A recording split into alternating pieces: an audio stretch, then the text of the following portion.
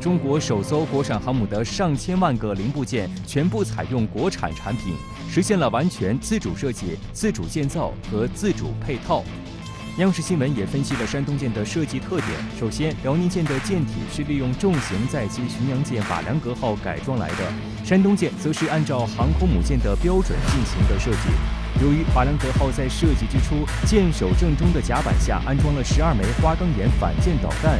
所以导致辽宁舰的甲板被占用大量空间，而山东舰不用受这种约束，结构设计更适合舰载航空兵作战需求，内部也有更大空间来装载舰载机。其次，山东舰舰岛比辽宁舰有所缩小。舰岛是航母的指挥控制中心，指的是航母甲板一侧的岛型建筑。现在服役的航母中，舰岛多在甲板右侧。舰岛内包括航海舰桥、飞行甲板调度室、航空舰桥和其他多种工作室。山东舰的舰岛比辽宁舰有所缩短，高度则增加了一层舰桥，其中节省下来的甲板面积有利于舰载机调度。舰岛缩小，实际上就增加了停放飞机的面积，使飞机出动率更高，返回时舰面停放空间更大。第三，从外观看，辽宁舰上的雷达罩是凸起的圆弧形，而首艘国产航母上的则是平面的。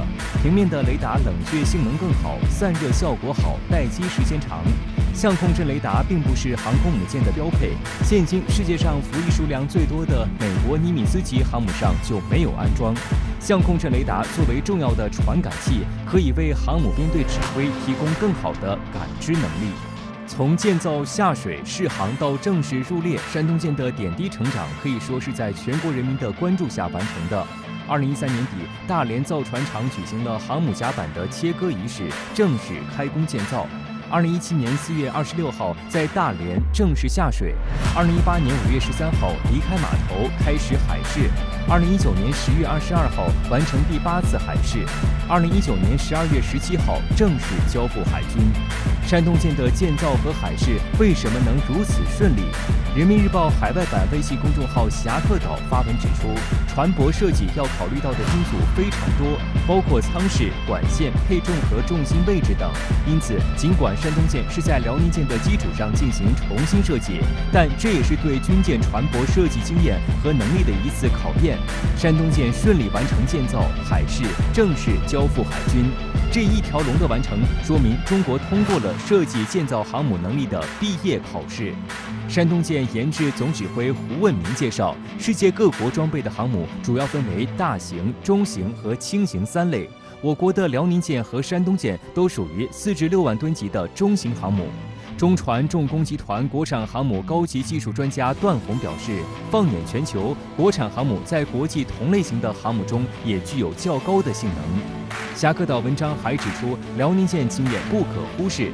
从二零一二年九月二十五号辽宁舰服役至今，中国海军已经有了七年使用航母的经验。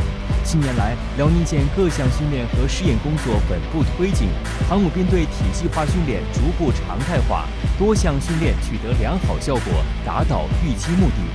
二零一八年四月十二号，辽宁舰参加中央军委在南海海域举行的海上阅兵后，迅即从阅兵场奔赴训练场。辽宁舰航母编队先后在南海和西太平洋海域密集展开多科目训练。海军辽宁舰副舰长陆强强表示，辽宁舰正在由一艘训练舰、试验舰向一艘打仗的舰艇转变。侠客岛文章还预料，未来辽宁舰和山东舰会双舰合璧吗？答案是肯定的。中国海军必然会用这两艘航母测试双航母战斗群的战术。这种战术随着未来中国海军航母数量增多，必然会变得司空见惯。那么在此之前，双航母的甲板调度、舰载机的任务配置，这些经验就要提前开始积累了。